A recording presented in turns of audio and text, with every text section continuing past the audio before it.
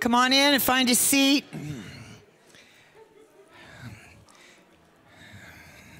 And are we live on Facebook right now? Well, if we're not, we still welcome you to come and worship the Lord with us this morning. If you're still in your jammies with your coffee, it's okay. Put your feet up. Worship God with us this morning. Hey, how many people are aware of the fact that this is Pentecost Sunday? Yeah, just I, I, to tell you the truth, unfortunately, I didn't realize that till yesterday. But Pentecost Sunday, uh, we're just I just like you to engage your heart with that this morning. That there would be a wind, there would be a sound, there would be a flame, there would be an outpouring of more of God, of the essence of who God is, as we just lift up our hands this morning and worship the Lord. So, are you ready to do that? Why don't we stand up this morning, grab the hand of somebody next to you? Thank you, Jesus. Thank you, Jesus. Well, Father, we just thank you for today. We thank you for what you're doing in the earth, God, what you're doing in our hearts, God, what you're doing in our cities, what you're doing in our families. So, Lord, we just say more. We listen this morning for the sound of you in the earth. We look this morning for your fire, Lord. We look for those tongues of fire, God. We receive, we honor what you did then, and we say more, Lord. More, Lord. We want the ground to rumble, God, underneath us. We want everything to shake. God, we want uh, heaven is open, but Lord, we want to see more. We want to go more. We want to want it deeper and farther this morning because we want to know you, Lord, because we want to know you. So, Father, we honor that realm of angels that you have set apart on our behalf today. We honor the cloud of witnesses that are surrounding us this morning, cheering us on. We honor that realm. We honor those that have gone before us, Lord, paid a great price. We honor, Father, your Son in the house. We honor you, Spirit of God. And Father, we just say, Holy Spirit, do what pleases the Father this morning in this place and in our hearts. We declare Jesus is Lord in this place. And Father, we, we say today to uh, our hearts, to those next to us on the left and the right, that God is good. God is good. We prophesy that out into the region this morning, the goodness of God in the land of the living. And all the saints said, Amen. Who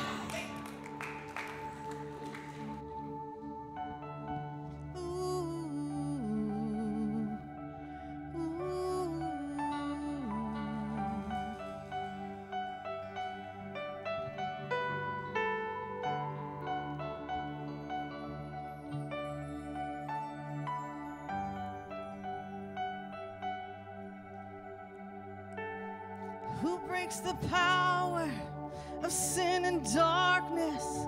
Whose love is mighty and so much stronger? The King of glory, the King above all kings. Who shakes the whole earth with holy thunder? Who leaves us breathless in on wonder? The King of glory, the King above all kings. This is amazing grace. This is unfailing love. That you would take my place. That you would bear my cross. You would lay down your life. That I would be set free. Jesus, I sing for all that you've done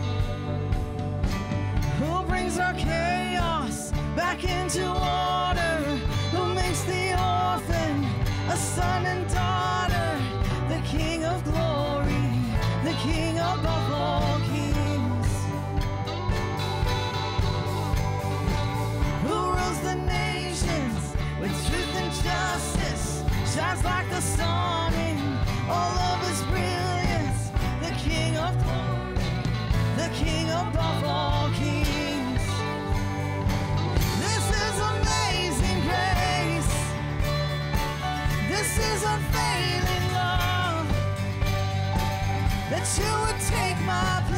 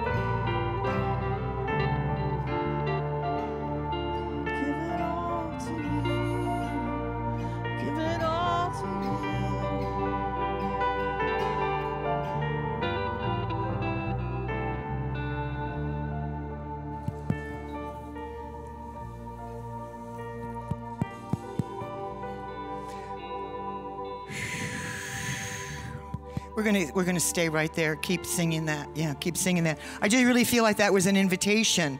Uh, that's what Donna is singing out is an invitation from the Lord. Um, this morning, Pastor Anthony um, touched touched a little bit on fear, and I felt like a realm opened up this morning. Um, the Lord also spoke to me this morning as we give our tithes and offering to just encourage everyone to, to give with their heart, to attach their giving this morning to your heart. And in, in not only are you believing, but it's your faith that you're also attaching as you're giving this morning. It's that place. But I feel like this morning there's a specific thing after listening to Pastor Anthony and just even this, giving it all to you, that God is saying to us this morning as you give, trade. Tra- as you trade this morning, that if that that if you have fear in finances, if you have just fear in life, that there's a there's a place this morning that God's going to meet us, that there's going to be an, a divine exchange this morning. And because if you have don't have fear, what do you have? You have power, love, and a sound mind. You know, fear is a killer. Fear, fear is such a killer in our lives. And just the mercy of God. And you know, this is Pentecost Sunday. What a what a celebration it is that God invaded the earth like that.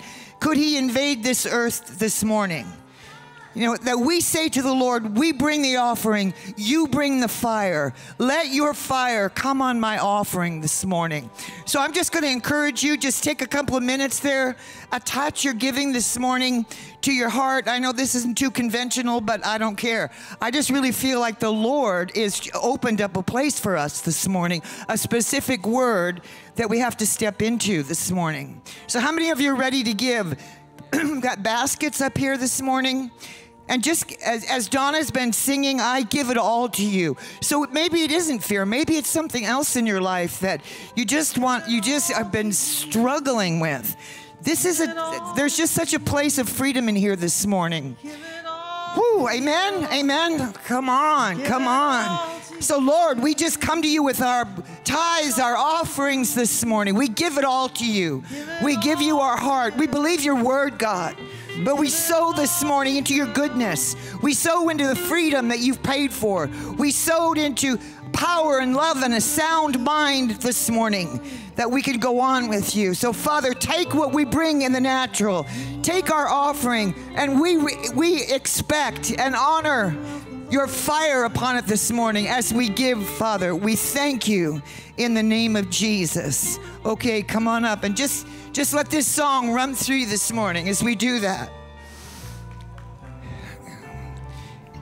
King of glory, You are the King of glory. We give it all. We give it oh, all to you, King of glory, this morning. Oh, Jesus, you are the King of glory. Give it all to you. We give it all to you. Let your fire fall on our on our offering this morning. Let your fire fall, God. The fire of your love. The fire of your freedom this morning, God. Let there be wind. Let there be sound. Thank you, Jesus.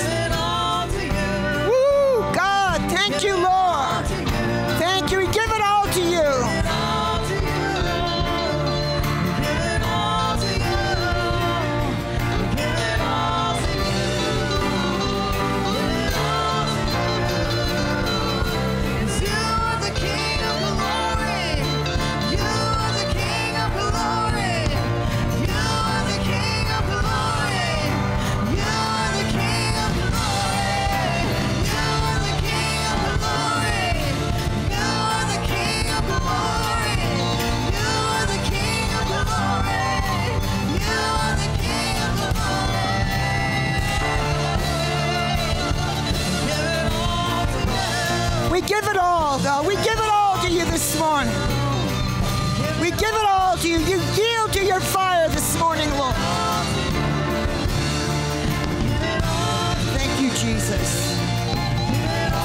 Jesus. Yeah.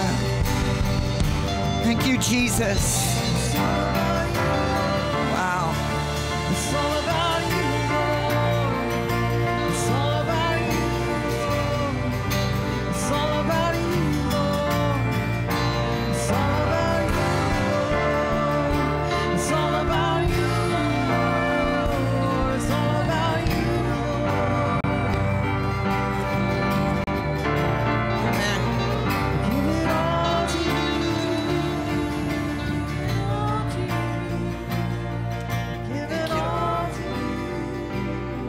Thank you, Jesus. Oh, thank you, Lord. We give it all to you this morning, Lord. We give it all with, with hearts that feel safe with you because you're a good, good Father. We give it all to you this morning. We thank you, Lord, for your fire. We thank you, God, for your mercy. We thank you for your goodness. We thank you. For this, is amazing grace. This is amazing grace. Amazing, great, great grace upon us as a people in this hour. We thank you, Father, for great grace upon us, God. We thank you, Father, that your fire is, is love. Your fire is love. If there is a fire that cannot be quenched, it's the love of God for all of us. We thank you, Lord, that we need you. We say, God, we need you. We need you to go on. We need you to go up. We need you to go out. We need you to, in order to fulfill. We need you, God. We need you for our destiny. We need you to reveal our purpose. Thank you, Father. We just say, God, we thank you so much. We thank you so much. Jesus, you're amazing. Jesus, you're amazing. We thank you. Revelation is flowing. Revelation is flowing. Your river is flowing, God. All of heaven is open. All of heaven is open. All resources are open. Thank you for the flow of heaven. Thank you. What we couldn't see yesterday, God, we can see today. What we couldn't hear yesterday, we can hear today. What we didn't know yesterday, we can know today because you are good. Because you are good because you are good. We thank you. You are good. You are good because you are good, good God. You're a good, good Father. No good thing will you withhold from us that walk uprightly. And we walk uprightly the, by the blood of Jesus. So thank you for that, God. Wow. Wow. Woo, Jesus. Thank you, worship team. Amazing. Thank you. Shabba dabba dabba. Woo, my goodness. ding ding dong, right? All right, I'm going to try and do this. I did the transition. I did the offering. If you were. yeah, whoop. Okay, I did that one. All righty. So, if you're new here, we have a welcome center in the back, and we'd like to welcome you. And we have some amazing people back there that will pray for you. We have some gifts for you. And um, so, don't forget to go on back there after the service and just get loved on and maybe any of your questions answered. That would be good. Um, if you pass the clipboards, this from the left to the right. Yeah. From the left to the right, yeah. Okay, we have an announcement video. Yoo-hoo! Announcements. Good morning, SRC. Here are a few events that you'll want to mark down on your calendars coming up for the month of June. We have our Ladies Tea Talks. It's going to be on June 2nd, which is a Saturday morning at 11 a.m. So just check out your bulletin to see what to bring and come enjoy a really good time with all the women of SRC as we share hearts and fellowship together over a cup of tea and some pastries. So we're getting closer to our Spiritual Things Conference. This is going to be June 7th through the 9th. We have special guests Jamie Galloway, John Thomas, and our own Pastor Darren. This is going to be just a really great opportunity to learn what it is to really walk in a supernatural lifestyle and what it looks like to restore the awe of God in our world today. So again, that's June 7th through the 9th. On Saturday, June 9th at 8:30 in the morning, we have our men's breakfast. So, calling all the men of the house to come gather and enjoy breakfast and a time of very good fellowship.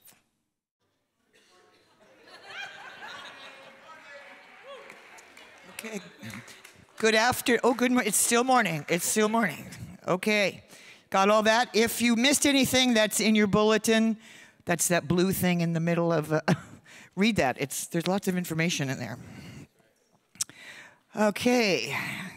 We have one more very exciting uh, announcement to make. Our own Jonathan Cotton um, has been invited to perform at Studio 7 downtown Seattle on Friday night. Say Friday night, June 1st.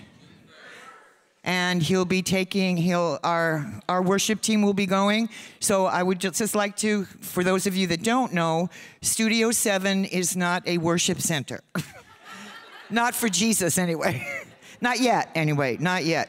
So it's filled, it's filled with pre-believers, pre-believers that uh, generally play uh, heavy metal music, if you like that kind of stuff. so Jonathan and the team will be down there uh, lifting up Jesus, playing worship music, but there will be other music being played in the venue. So we didn't want to send you out into something that, you know, that you was like an ambush to you. But if you feel it's an awesome outreach, it's an awesome outreach to to go and just worship the Lord. So Jonathan's not really looking for prayer warriors or flag wavers. Nothing wrong with flags, but you know the Shundabundas. We're looking for just to fill the place with the praises of God, and you can Shundabunda with that too. But to fill that place with the praises of God and they're going to do they're going to do an awesome. So there um, there is information on our SRC Facebook page. I believe Jonathan Cotton is sitting right back there, and so you can stand up, Jonathan. All right. Hallelujah. So you can get any information that you need from him. Um, so if, if that's what you, if you feel led, I know, I know a lot of you are just like, frothing at the mouth to get down there and do that because just it, it's going to be an awesome experience. It's going to be an awesome experience. It's going to make an impact. And it just may open the doors for us downtown uh, Seattle to, uh, you just never know what God's going to do, right? So, okay. So it is now my privilege to introduce our associate pastor to you, um, who is also a brand new author of a book called Nothing Wasted which you can buy right here in this building. Um, I was just asking Rebecca, how long has Anthony been here? It's been about five and a half years now.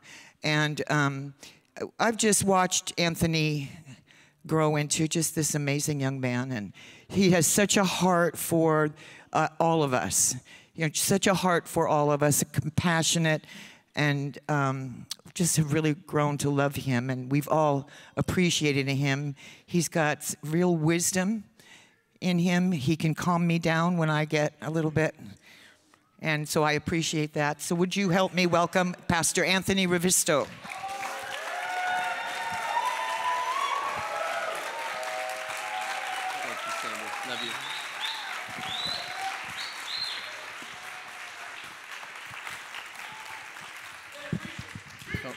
Come on.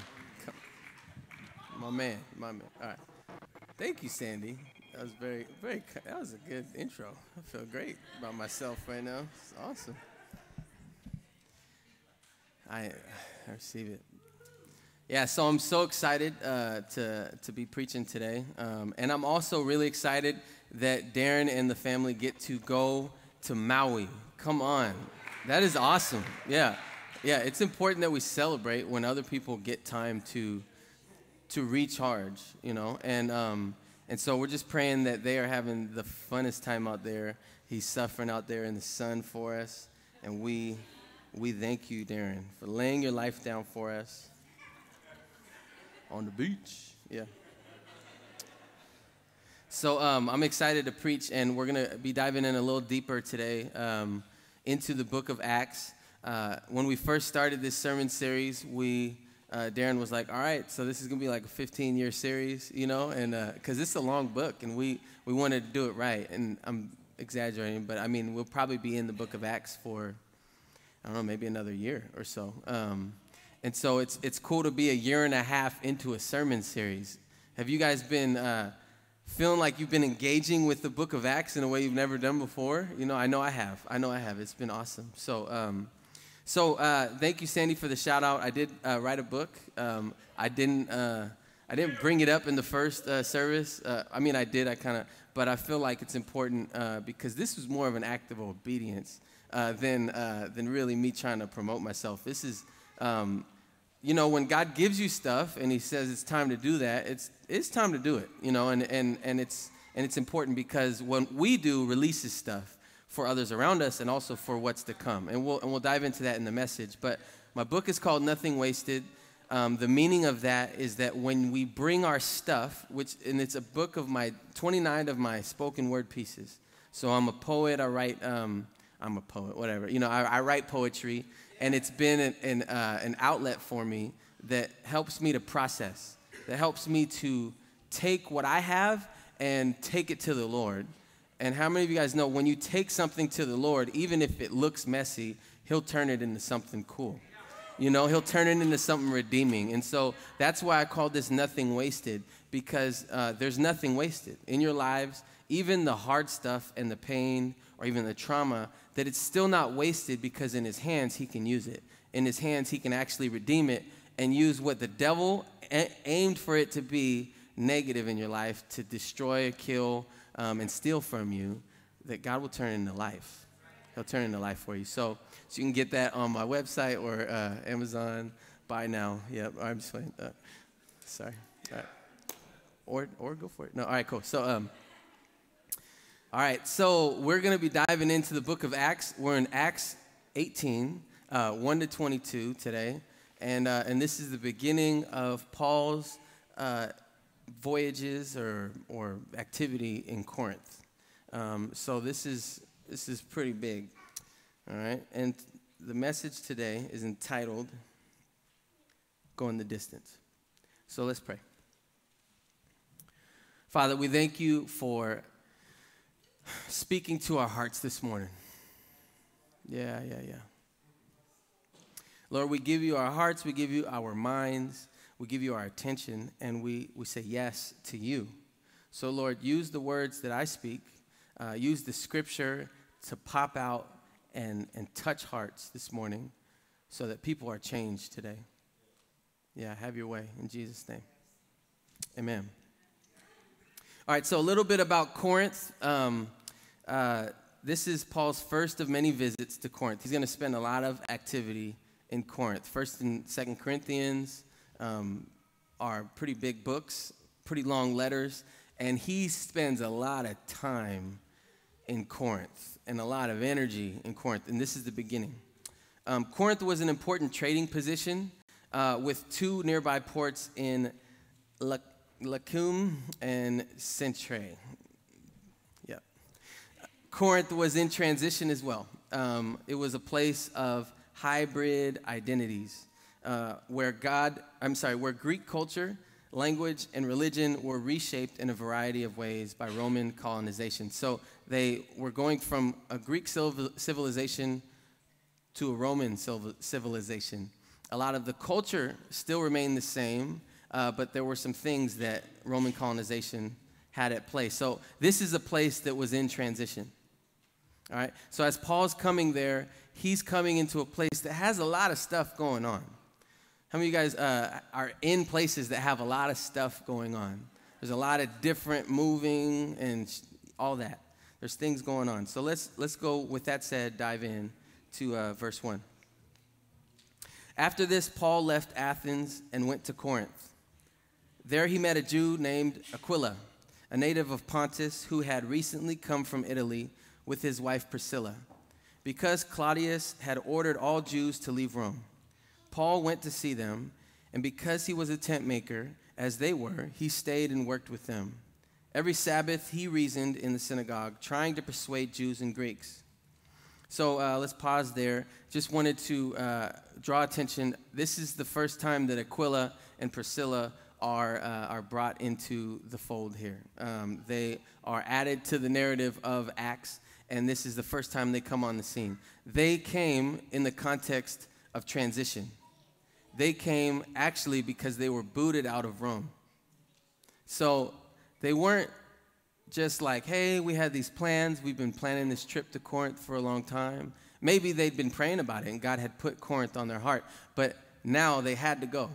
They had to move. They had to, they were transplanted from Rome to Corinth. And so there's something about transition. So, just a quick note on that. Transition although unexpected, sometimes can be the Lord. And oftentimes, God can use things that we don't see as the way that we saw transition looking, and it can set us up for the next thing that He wants to do in our lives. So, what we'll see with Aquila and Priscilla, or Priscilla and Aquila, it kind of switches uh, back and forth, is that they are an integral part of the church in Corinth and an integral part in what God's doing to build the church. So, shout out to Aquila and Priscilla. All right, yeah. This is also an example, example of leaders being added to the church. So, Paul was going and building up the church, but there were also other leaders that God was bringing to the church. You know, there's, there's things that God's doing in people's lives, and He's maneuvering and He's bringing people along. Even here, God's bringing leaders here to this church to support what God's doing. And there's something about being able to recognize the leaders that are amongst us and saying, okay, I see that. I see that. Let's, let's do this. Let's start to run together. And there's these things where we're learning to run in step because God's already doing something here that's leading, you know, it's like a path that's been leading and now it's in step with this path. Does that make sense? Right? And so we're, we're able to discern when God is bringing people along to help, to support, to push along. And He's doing that here as well. Amen. All right, so uh, verse 5. When Silas and Timothy came from Macedonia, Paul devoted himself exclusively to preaching, testifying to the Jews that Jesus was the Messiah. But when they opposed Paul and became abusive, he shook out his clothes in protest and said to them, Your blood be on your own heads. I am innocent of it. From now on, I will go to the Gentiles. All right. Come on, so let's pause there real quick. So, so yeah, Paul Paul had kind of a little reaction there, you know, a little, little, a little bit of a reaction. Um, and we'll and we'll get to that. One thing I wanted to highlight first was uh, was that Paul wasn't alone. He had reinforcements come with him. It says in, in the beginning, in verse 5, it says, when Silas and Timothy came from Macedonia. We've heard often that it's important to not go alone, right? When you're going out, and oftentimes when we, and we, even when we read the scripture, we see the star. We see the person who's out there. You see the person that's um, uh, maybe on the spotlight or the one that's speaking, the main character, but there's often supporting characters that are causing that thing to be able to happen. All right, so Silas and Timothy come on the scene, and then he commits himself to preaching and reasoning with the Jews. Okay, so what happens when he starts preaching and reasoning with the Jews? Oh, yeah, yeah, he, he gets met with some resistance. And he just came from Athens, right? Last week, previously in the book of Acts, on in Athens, you know, he was ridiculed, right? So Paul got up and he's talking about this, and they're sneering at him. They're they're they're rumbling and saying, "What's this joker talking about uh, the resurrection? You know, what is this?" But some were able to say, "Okay, we want to see you back here." So he went from ridicule, and now he's getting full-on resistance. Now he's getting even abuse to the point that he's ready to throw in the towel. What does Paul say? He says, Your blood is on your own heads. That's pretty, uh, pretty, those are fighting words right there, you know? And, and he was there. He had a towel and he, he threw it. He was like, Forget you guys. All right? This was a real reaction that Paul had. Just saying. Let's, Let's acknowledge what we just read. He was upset. All right. Had to translate that. Okay, so verse 7. Then Paul left the synagogue and went next door to the house of Titius Justus, a worshiper of God. Crispus, the synagogue leader, and his entire household believed in the Lord, and many of the Corinthians who heard Paul believed and were baptized. So Paul gets out of the environment, goes next door. He gets into an environment where he's around other believers, right? It's important sometimes that when we're in the midst of conflict or in the midst of um, the mission field, that we also get around other brothers and sisters that can encourage us, that can uh, um, agree with what the Lord is saying over our life, you know, and it's a place where the fear and the anger and the frustration can dissipate a bit. And in the midst of all that, Paul ends up seeing fruit of his ministry. Let me just highlight something that I missed the first time I read this. But right after it says, Crispus, the synagogue leader, right, becomes a Christian. So the very same place where he was violently abused, right, where he, they were, were resisted and abused, like abusively resisted, however, you want to, however they put it, in that very same place, the leader of the synagogue comes to the Lord. Okay? And then not only that, but also many Corinthians believed and became baptized. And so, even in the midst of that explosion, in the midst of that conflict, there was fruit. There was fruit there, okay? Just want to highlight that. Okay, verse 9. So one night, the Lord spoke to Paul in a vision. Lord said, Do not be afraid. Keep on speaking. Do not be silent, for I am with you, and no one is going to attack and harm you, because I have many people in this city. So, Paul stayed in Corinth for a year and a half, teaching them the Word of God. Say shift. Something shifted because Paul went from throwing in the towel to staying for 18 months. There's something that, that happened there, which we'll dive into today. So, verse 12 While Gallio was proconsul of Achaia, the Jews of Corinth made a united attack on Paul and brought him to the place of judgment. This man, they charged, is persuading the people to worship God in ways contrary to the law. Just as Paul was about to speak, Gallio said to them, If you guys were making a complaint about some misdemeanor or serious crime, it would be reasonable for me to listen to you. But since it involves questions about words and names and your own law, settle the matter yourselves. I will not be a judge of such things. So he drove them off. Then the crowd turned on Sosthenes, the synagogue leader, and beat him in front of the proconsul, and Gallio showed no concern whatsoever It's getting real. Okay.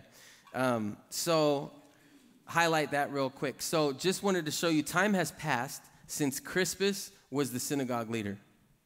All right? So, Crispus is no longer the synagogue leader. He got saved, and maybe that was the end of his leading of the synagogue, right? Now, Sosthenes is the leader of the synagogue, and he's leading this group, or he's the leader amongst this group, going to Gallio and saying, Hey, Paul is is, is doing something contrary to our law. And Gallio's like, tell someone who cares. Um, which is base. It was very like I don't. It does. It has no concern of me, right? To the point that they their business is their business, and that was kind of an influence of the Roman time at the time. It's just Roman colonization. It brought a different rule, and so that that just kind of shows that hybrid. There's all these different things happening right? And, and Luke felt it important that we acknowledge this. So, a couple things I want to highlight in this. Um, there is debate on whether the crowd meant the Jews or the Greeks, right? So it says, and then they beat up Sosthenes. In some uh, versions, my version in New King James, it says, um, it says, then the Greeks beat up uh, Sosthenes. And in some, they say that no, that was the Jews beating up their, their leader because he led them in a failed attempt. Or, or that he was a sympathizer to the gospel because in 1 Corinthians it says greetings and then it greets Sosthenes and it says our brother in the Lord. So just wanted to throw all that out there because we dive into the scripture trying to understand the context because there's this narrative that happens outside of what we read all the time. And a lot of times you really got to dive in because Sosthenes was a common name back then. So it could have been a different Sosthenes, or it could. So you just, all right, just saying, you got all the details. There you go. Either way, here's the point Paul isn't harmed. Paul's led by this group that eventually leads to violence. Paul is not harmed. And that lines up with something that God said. He said, Don't worry, Don't be afraid. You're not going to be harmed. All right? Okay, verse 18. Paul stayed on in Corinth for some time. Then he left the brothers and sisters and sailed for Syria, accompanied by Priscilla and Aquila. Before he sailed, he had his hair cut off at Cenchreae because of a vow he had taken. They arrived at Ephesus, where Paul left Priscilla and Aquila. He himself went into the synagogue and reasoned with the Jews. When they asked him to spend more time with them, he declined, but as he left, he promised, I will come back if it is God's will. Then he set sail from Ephesus. When he landed at Caesarea, he went up to Jerusalem and greeted the church and then went down to Antioch. All right, so Paul cuts his hair off for a vow. Anybody notice that? Like, wait, what? In some places it says he shaved his head, right? So, what's up with the what's what's up with that? You know, like you, you cut your hair off, you know, and um, that's that's kind of noticeable. You know, if I shave my head, well, if if someone with longer hair shaved their head and showed up, it'd be kind of noticeable. You know, there's some there's okay, this is a visible thing that he did, um, and I want to draw attention to that. There's there's potential that that was a temporary Nazarite vow. And, uh, and usually a Nazarite vow exists um, uh, when there was a situation requiring deliverance or rescue, when it's in a temporary nature. Some, some Nazarites would just commit their whole life to that and never cut their hair. But it could have been a temporary Nazarite vow where Paul's like, Lord, I'm in this place. You know, I'm making this vow to you. Um, it also likely could have come on the back of a renewed resolve to reach the Jews. Because the Nazarite vow is a Jewish custom, it's, it's something that goes with the law, okay? Um, and that would affirm the value of the law in fulfilling the vow of a Nazarite. And he's going to reach more Jews. We'll talk about that. So, this revol- resolve is affirmed in this first letter to the Corinthians in 1 Corinthians 9 19 to 23. This resolve of reaching the Jews and really reaching man, mankind. It says in verse 19, For though I am free from all men, I have made myself a servant to all, that I might win the more. And to the Jews I became as a Jew, that I might win Jews. To those who are under the law, as under the law that I might win those who are under the law. To those who are without law, as without law, or not being without law toward God, but under law toward Christ, that I might win those who are without law. To the weak I became as weak, that I might win the weak. I have become all things to all men, that I might by all means save some. Now, this I do for the gospel's sake, that I may be a partaker of it with you. Do all things, what? I become all things to all men, that I might by all means save some. We aren't responsible to save everyone, but we are responsible to identify what we need to do. All things. Paul said, I have become all things so that in all means through all of the possibilities, I can fulfill what I need to do so that in all means I might save some. That we're not responsible for what happens, we just need to plant seeds. But we are responsible to plant seeds. And that's what Paul, I think, was doing with this vow. Was saying, something's happened. Something happened to Paul in this 22 verses in these 18 months at Corinth. Something happened. He shows up. Well, let me, let me highlight first. In verse 19, what does it say? It says, They arrived at Ephesus where Paul left Priscilla and Aquila. He himself went into the synagogue and reasoned with the Jews. All right? Wasn't there a time earlier where Paul was like, I'm done with you guys? Didn't he actually throw in the towel on the Jews and say, I'm going to the Gentiles now? Sometimes God has a way of redirecting things. And that's what we're going to talk about today. So, as we saw after verse 11, there was a shift in Paul in the first visit to Corinth. God used this first ministry trip to refine Paul and prepare him for the days ahead. There's a time that will come that Paul will write a letter that says, I've been whipped such and such times, I've been imprisoned, I've been beaten, I've been shipwrecked, I've been this, I've been that. And he's listing off experience after experience after experience of stuff that he went through and real stuff that he went through. And he's already gone through quite a bit, as we've seen. But this trip is a preparation.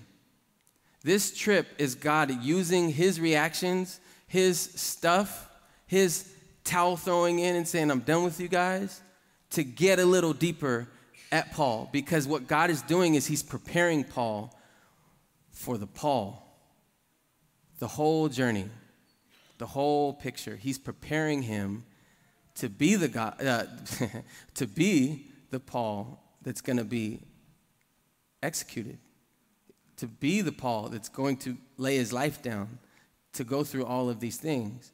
And a lot of times we are being prepared through the stuff that maybe causes the stuff to stir up. So there you go. Okay. So God used the resistance that Paul was encountering to reach deeper into his heart, to get at what was there. So I got four points for you guys, and we're actually going to break down uh, verses 9 and 10 uh, with these four points. Uh, it's the words that God used to speak to Paul. Because we want to identify what was the thing that made the difference. All right, so the first point do not be afraid. So, if God said, do not be afraid, that means that Paul was afraid.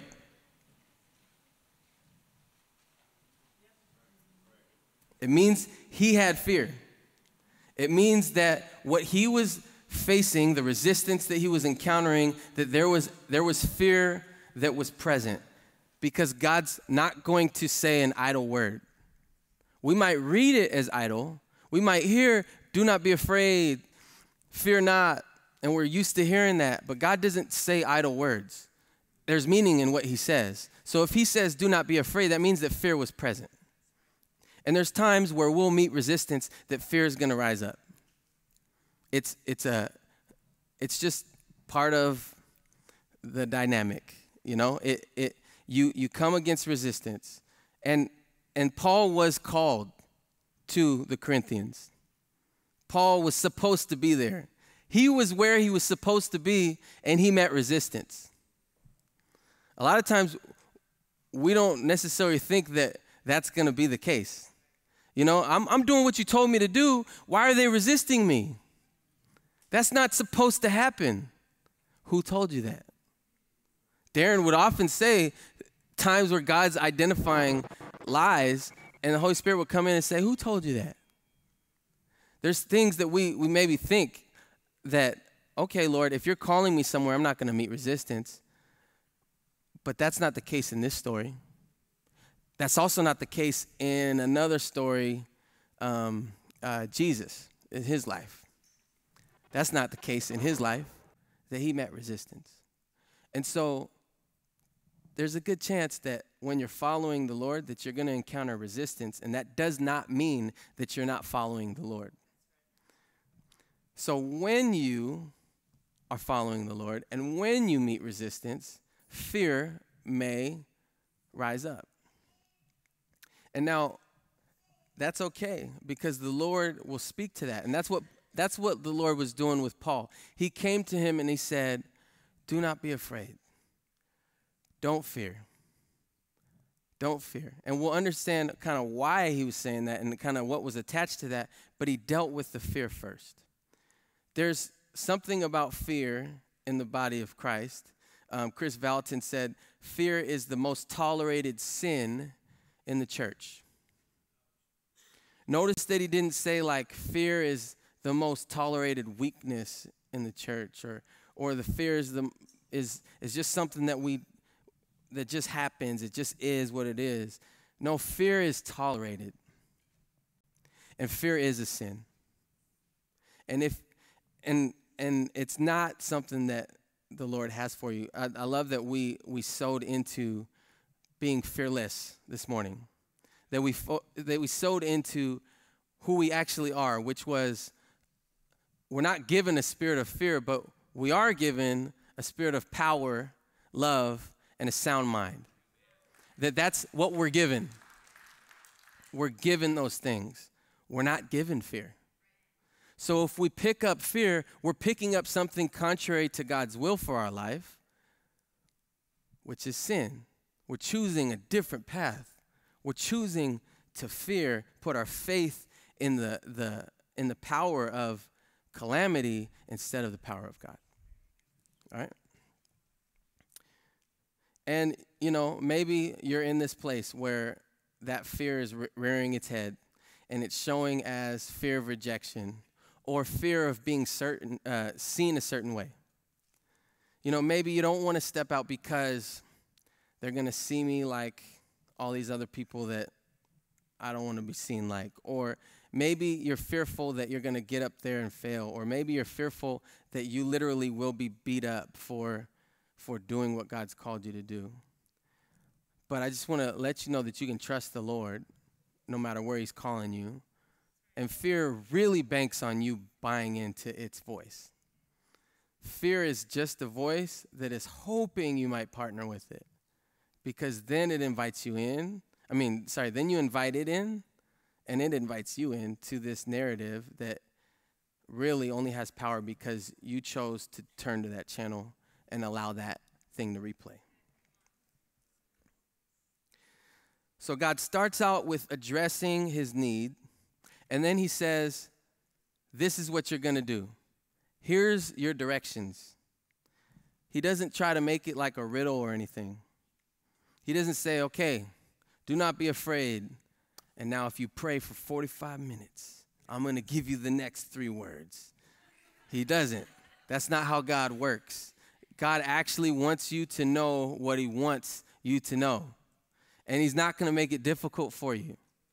There isn't some game where He's like, all right, uh, I want you to uh, figure out this puzzle. It's, it's not a puzzle that we need to figure out. And that's not how it was here.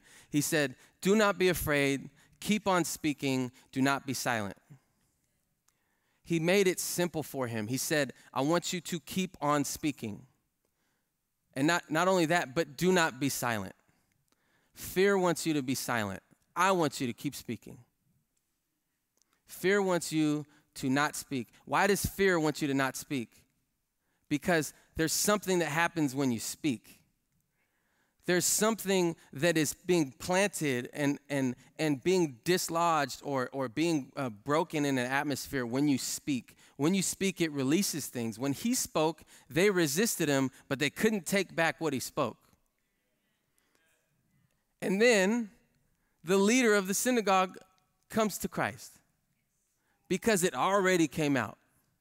So even when you guys are getting resistance, you already spoke that thing. You already got three arrows off. You know, you already you already got those things and they're going to bear fruit. And so just recognize that a lot of times fear comes to silence your voice.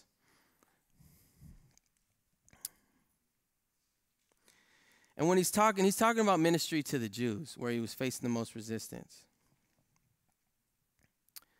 So, mm-hmm, where we at? Okay. All right. How we doing? Cool. Woo. All right, so if you come up against resistance and the Lord's called you to be there, you can hear these words don't be silent, keep on speaking. And you can trust in what is being sown by what's coming out. So then he says, I am with you, no one will harm you. So he starts with the need. He says, Fear not. Let's deal with that first. Let's take care of that fear. Then he says, This is what you're going to do. And then he provides for how he's going to do it. Right? God doesn't give us a mystery, he clarifies what he wants us to do. And then he shows us how he's going to do that. How does he do that? Because he's with us. I'm with you, and no one will harm you. There's something about knowing what God says and then knowing that He's with you. When you know that the Lord's with you, it's it's uh, it changes everything. You're no longer just following the steps that you know you're supposed to do, but you're walking naturally with intention because you trust the Lord and He's got you. There's something about that. So, what happens here is that Paul hears that, and this happens to the point that Paul gets led in a focused. Oh, sorry, that's the wrong word. gotcha. All right, cool. Um, so good. God's faithful, He never fails. so good. So, on that note, when God tells you what to do, He's gonna give you what you need to accomplish it. When you and and a lot of times there's gonna be question, are you gonna show up? And that isn't necessarily a, a fearful comment. It's more of just saying when you're trusting the Lord and you're stepping out, there is unknowns. There are unknowns that will have to be met. Okay, God, you want me to uh, sell everything and, and just get ready. Hey, I know people in this church that have been told that. okay, all right, cool, let's go. You know what I mean? And that's a, a, a place that can, could stir up a lot of anxiety. But yet the Lord shows up and He provides for that. And so if you guys are, are being led in that place, whatever it looks like, just trust that He's going to show up because He's with you and nobody will harm you. And lastly, I have many people in this city. So, this called Paul's attention to the things God has already been doing. Not only was God saying, I'll be with you, but nobody's going to harm you because I have many people here. You know, there's the story uh, in the Old Testament where it's like, look up and see what you don't see. You're surrounded in a good way, right? There's something about being surrounded and God calling our attention to what He's doing. When maybe we were focused on that tunnel vision. You know, tunnel vision can be good, but when you're locked on to the wrong thing, God's got to deal with that, take off the blinders so that you can see what He wants to see. He wants you to see. Abraham was led out of the tent and then he said, Look up, number the stars. Sometimes we need to be pulled out to be able to see the bigger picture that God's doing. And he's saying, I have people here. I'm doing something. Just like we saw with Aquila and Priscilla, there's he's doing something in their life and it's intersecting now with, with Paul and them. And it's it's happening, this bigger narrative, this bigger church being built, it's happening. So God's saying, hey, look, there's more people in this city than you know. And also, we can say that about our city. There's more people in Newcastle, in Renton, in Bellevue, in uh, Seattle than we know. There's more people in this city. God's got people in the city. God's got things happening that we're a part of. You guys are a part of the body of Christ. There's a big narrative that we're a part of that, that God is saying, hey, hey, hey, I got this. There's a lot of people a part of this thing. So you're not alone. Okay, so there's a quote that says, The struggle you're in today is developing strength you will need for tomorrow. I would say that's a good quote. You know, there is truth to being faithful in the midst of hardship, being faithful in the midst of conflict or resistance, and it developing a capacity to carry what God is going to pour out in your life, but He also wants to build that capacity in you, and He wants to expand that capacity. But what I would say is maybe even more relevant is the strength that comes that when you know that you are right where God wants you and that you know that He is with you and He has your back. That there's certain strength that comes from knowing that you're right where you need to be and that you're doing right what you need to do and that you're, you're, you're in that place where you're right in line with God's will. There's a strength that comes. Paul did something that uh, David did back in the day. He encouraged himself in the Lord. He found courage in the Lord. And it wasn't old courage, it was new courage. You guys have new courage available to you right now, right here today, and it comes from God. That no matter where you are, that He can meet you in the midst of that and speak to that place. Because this is what was happening. Paul had a leak in his heart. He had a little leak, and I'll, I'll explain that. There was still an area where God wanted to tease out, where God wanted to purify out of, uh, out, out of Paul's heart, that was activated when he got resistance at a high enough level. And God's saying, I don't have that for you. I don't have an eject button for you. Paul didn't have an eject button. He didn't have a lever to pull to be out and throw the towel in on the Jews. God chose Paul as the instrument to lead this pioneering through the Jews, in the Jews, to the Jews. And God wasn't going to allow even that to stop Paul. And so he spoke to Paul and he said, Don't be afraid. Keep speaking. Don't be silent. And he spoke to that thing. And we see this new resolve in Paul we see a new resolve so that in 19 in verse 19 he's back where in the in the synagogue speaking to the jews doing the opposite of what he said he would do. There's times where you guys will say stuff and make vows even. I promise you i'll never go back there again. And then 14 verses later you're gonna be there. What's up guys? So anyways jesus right? Resurrection. You got to be willing to be, uh, to let God's voice be the final voice. You know what I mean? Like you can say whatever you're gonna say. I be wise in what you say because there's power in your words. But but there's times where God's gonna say, yeah, yeah, I know that was your version, but this is my version. And yeah, thanks for shaving your head. That's good. Good job. You know you know, I mean, there's there's a version that God has that is beyond what we are aware of or what we know. And that was Paul's revealing that he just didn't see the whole picture. He didn't see the whole picture, he saw it in part. But God was dealing with his heart so that he could be the Paul down the road that would walk out the whole plan. How many of you guys want to walk out the whole story that God's got for your life? Everything, all of it. And the key to that is what you just put up in the air an open hand. You just threw an open hand in the air. And there's going to be good stuff.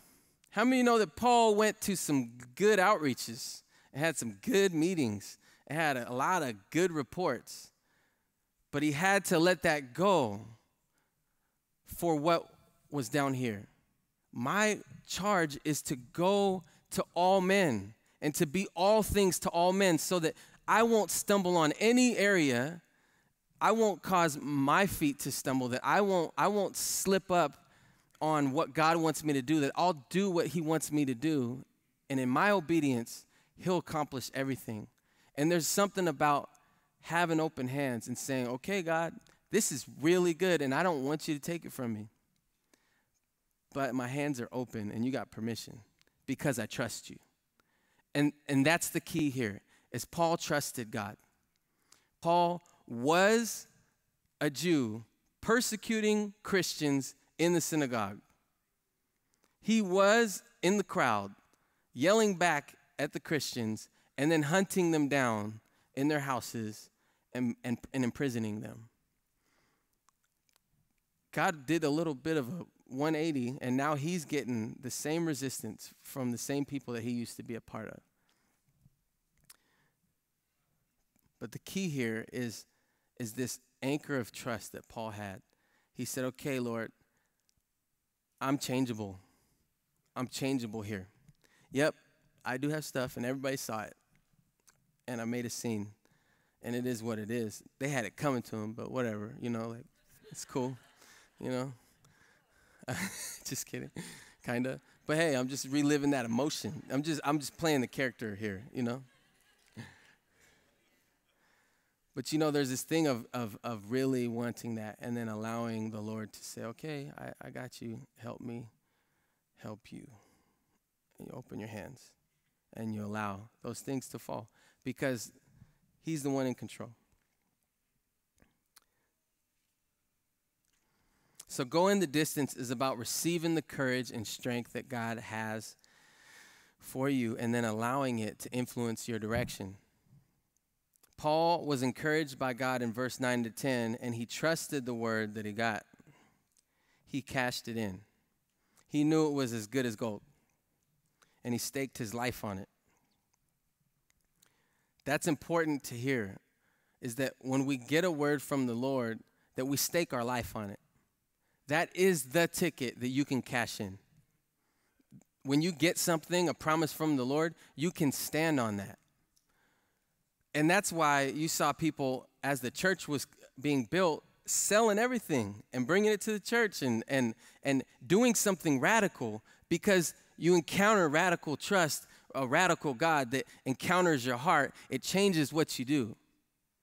You know, it says that where you put your treasure reveals your heart. But what happens when you allow the king to touch your heart? It changes what you do with your time.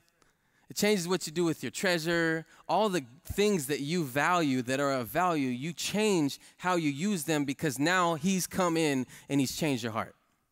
He's completely touched that area that was maybe, maybe fear was governing what you did with your finances. Maybe, maybe fear was governing how you spoke to people, or maybe fear was governing who you became friends with because you didn't really want to put yourself out there. Or maybe, maybe, maybe there's all types of areas where what's happening in our heart helps or, or hinders what God wants to do. But then He touches your heart, and then everything changes. It's all about that encounter. Paul had an encounter when he was on a, on a path of destruction and it flipped his whole scenario. Everything changed. And Paul had another encounter. We're on a series of encounters. I stand here as a son in this house. I wouldn't always be able to say that. Not based on everybody around me, but based on what's going on in my heart but I'm a son in this house. And I can say that.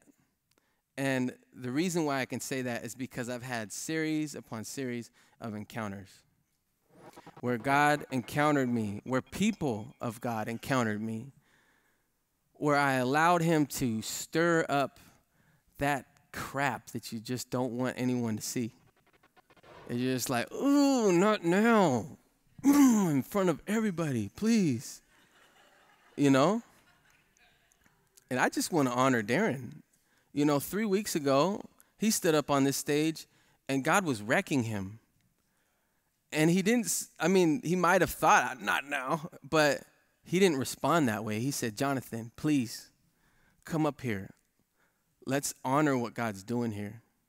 We have a leader in Darren that is hungry to be changed. Right? He's hungry for that. And that's a good leader. Like we Darren is such a good leader, and I'm so grateful to be serving under him because we're on this pursuit of the Lord. We're pushing together. We, do you guys feel what's happening as a church? There's a together thing happening. There's a proverb that's not in the Bible, but it just means a wise saying. But basically, the proverb says if you want to go fast, go alone. But if you want to go far, go together. And there's something about what's happening here. There's a yielding to what God's doing. It says in Philippians 2, it says in, I think, verse 2, it says, consider other people as more important than yourselves. You want to hack for humility? Think of people as more important to yourselves. You want to undermine pride? Think of other people as more important than yourselves. And there's this yielding that happens when we start to pay attention to each other and we're seeing, wow, like this person just spoke at the men's breakfast. Wow, that was powerful. Wow, this person just did the announcements. Shout out Faith. You know, like, wow, you know, like, um, uh, wow, we're adding new elders. Wow, we have such a, a, a strong core growing. Wow, there's all these people being added to the church. Did you get to meet that person? Yeah, I know that. It's so cool what God's doing. This together thing that's happening is like, I, and I said this in the first service, it's like a gigantic ship that's being pushed off the harbor, off the dock, out of harbor, and it's slowly making its way. We've pulled the ropes, we've pulled up the anchor, we've got a team ready to pull the masts up, and things are starting to move. Thank you, Jesus. So, question for you. I love you. So you know. I love you.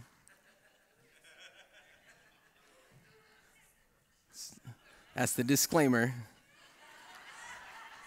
It's the intro and the closing is I love you. It's a I love you sandwich. Okay? Here's the meat. When was the last time you put a word from God to the test? When you leaned out where he had to catch you and show up like he said he would. Or maybe we're doing God a favor by not forcing him to show up and, and be God in our life. Maybe we're making sure that we just keep our nose clean and it'll end up well for us. All the while, he's asking us to step out and trust Him. We have to resolve to trust God and be living such a life that invites Him to step in.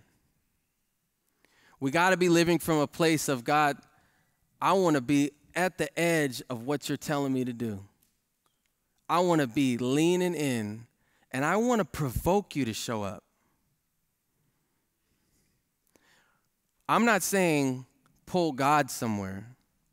I'm saying go where he's telling you to go because I promise you, you're going to have to run really fast to be beyond him when you're running after him. And as you step out, trusting him to show up at the grocery store, at the checkout. Beep. How's it going? Good. How are you? Thanks.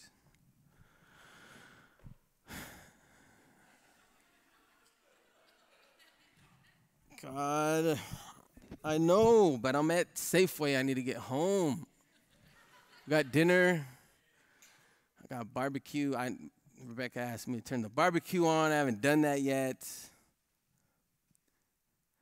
And then you turn and you say, okay, um, it's going to sound weird, but uh, God highlighted you to me. And um, I feel like He is just reminding you or wants me to remind you that He's got your back. That's all I got. I'm a Christian. It's cool. I believe in Jesus, and uh, and I believe that He still speaks to us today. So um, I hope that you have a great day. Oh, my card. Okay, yeah, yeah. Sorry. Okay, thanks. All right. Take care. Oh, my groceries. All right, cool. Thanks. Awkward. Awkward. Taking those steps and being willing to be like, okay, I will do what you tell me to do. I will do it and I will show up and I will I will do that. And and we're getting testimonies of how people are doing that in our church. Darren gave one last week. A woman who had an abortion and and she ended up talking to Steve and Melanie and and uh, and Darren and they're at Starbucks And I mean, she ends up getting healing from something that was haunting her. That God cares about that, and there's stuff all around. So just trust Him when He leads you and step out because He'll show up.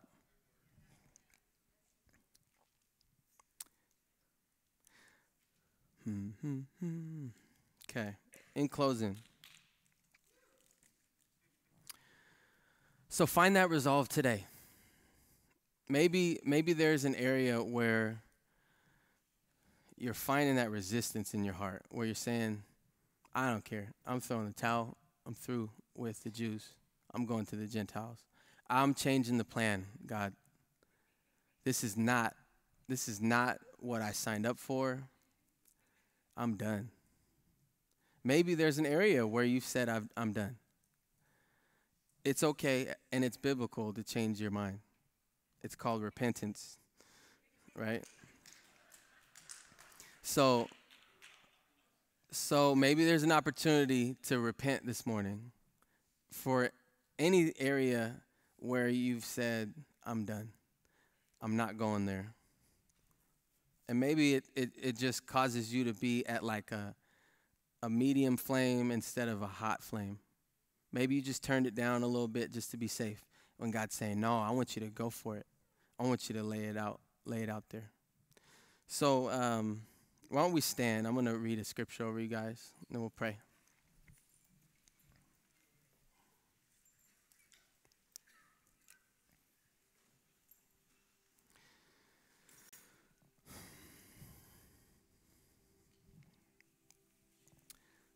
So it says in Psalm 32, in the Passion Translation, in, uh, in verses 8 and 9, says, I hear the Lord saying, I will stay close to you, instructing and guiding you along the way, along the pathway for your life. I will advise you along the way and lead you forth with my eyes as your guide. So don't make it difficult don't be stubborn when I take you where you have not been before. Don't make me tug you and pull you along. Just come with me.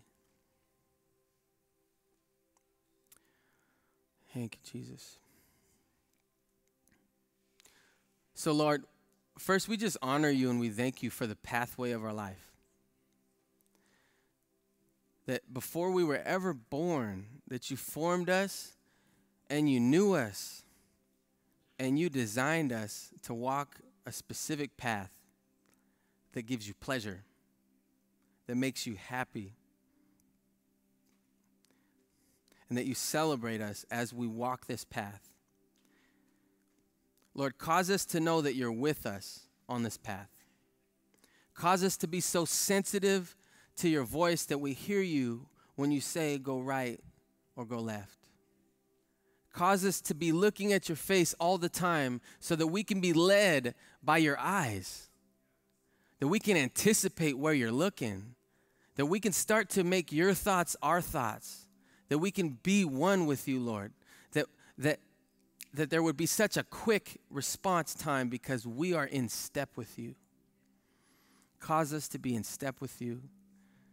And Lord, we invite you in to inspect our hearts to know the deep things that we don't even know. We invite you to search those things. And we invite, we invite you to deal with anything that's hindering us from following you into those places, regardless of what's going to come to resist us, because we know that you're with us. We know that you're leading us. And you know the unknown, even if we don't know it. You are the God of the unknown. So I just feel like we should take a step, not yet, but as you are preparing to take this step, I want you to see a staircase in front of you.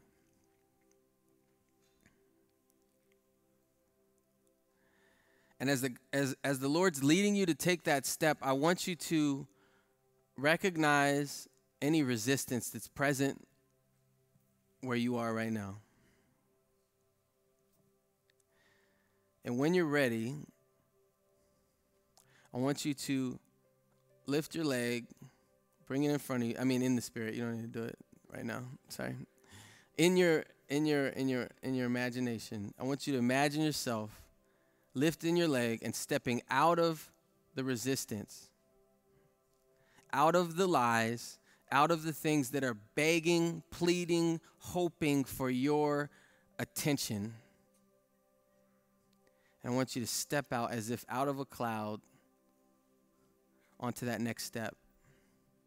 I want you just to to encounter his pleasing celebration for you and the strength that increases. So, Father, I just pray for an increase in strength, an increase in trust, an increase in willingness to be obedient, to do what you tell us to do, and to say yes to you in every situation, to know that we don't need to be afraid, to know that you are with us, that, that no one will harm us, and to know that you're telling us to keep speaking, to not be silent, and that there's other people doing it alongside of us.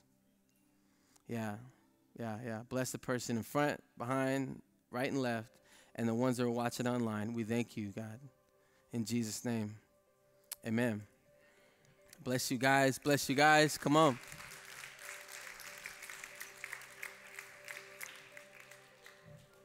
So, if the ministry team could come uh, up to the front, uh, if you need someone to agree with you, to partner with you in prayer for healing, or maybe there's a rededication that God's been stirring in your heart, or maybe you've never accepted Good morning, Him, SRC. Here are a few events that you'll want to mark down on your calendars coming up for the month of June. We have our Ladies Tea Talks that's going to be on June 2nd, which is a Saturday morning at 11 a.m. So just check out your bulletin to see what to bring and come enjoy a really good time with all the women of SRC as we share hearts and fellowship together over a cup of tea and some pastries. So we're getting closer to our Spiritual Things Conference. This is going to be June 7th through the 9th. We have special guests Jamie Galloway, John Thomas, and our own Pastor Darren. This is going to be just a really great opportunity to learn what it is to really walk in a supernatural lifestyle and what it looks like to restore the awe of God in our world today. So again, that's June 7th through the 9th. On Saturday, June 9th at 8:30 in the morning, we have our men's breakfast. So, calling all the men of the house to come gather and enjoy breakfast and a time of very good fellowship. Good morning, SRC. Here are a few events that you'll want to mark down on your calendars coming up for the month of June. We have our Ladies Tea Talks that's going to be on June 2nd, which is a Saturday morning.